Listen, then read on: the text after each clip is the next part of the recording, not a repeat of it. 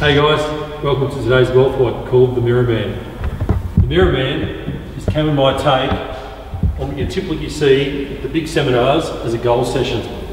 We used to go to these seminars and see people with their big fancy cars, and see the big boats, and see the fancy holidays all over the world. To me, it was just crap. What it's about for me is putting together a plan you can move forward with. We're going to go upstairs and give you some tools on what the Mirror Man means and how you can use it to your advantage. Hey guys, welcome to the Mirrorman Wealthwide. I'm here with Al. Um, this came about probably 15 years ago, 10, 15 years ago, the Mirrorman concept came up and it's something that's been very important with us setting goals.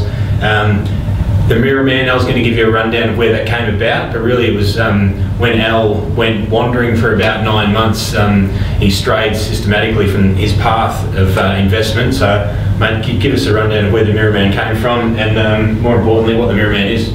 Yeah. So we sit downstairs, guys, we go to these seminars and we'd hear the crap from people about sitting on Lamborghinis and their boats. But as Cam said, I went off in the wilderness at one point. So there's about a nine month period there, about 10 or 15 years ago, where I decided that I thought it was a good idea to buy property in the United States. So my core plan had always been growth properties and grow a portfolio. Um, over this nine month period, I went wandering, investigating, and two trips to America. And at some point, towards the end of that, Cam said to me, What are you doing, man?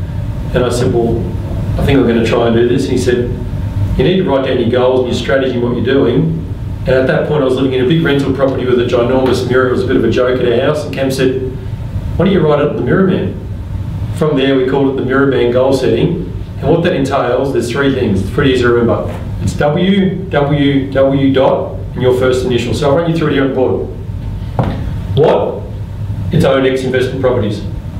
When? It Was five years. Why? So I can scrap the man and be self-dependent. And A, my initial, what am I going to do? I'm going to focus on growth property. So I wrote that on my mirror in my bathroom. Every morning, every night, I'd see it, remind me and keep me right on track for what my goals were. Now, you can use that anywhere on any type of thing. So, give you an example, my brother as a teenager. His what was dance like Michael Jackson. His why was pull chicks. His when was ASAP.